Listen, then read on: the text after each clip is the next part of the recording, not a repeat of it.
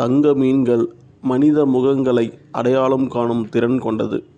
முகங்கள் மட்டுமல்ல வடிவங்கள் வண்ணங்கள் மற்றும் ஒலிகளையும் அடையாளம் காணும்.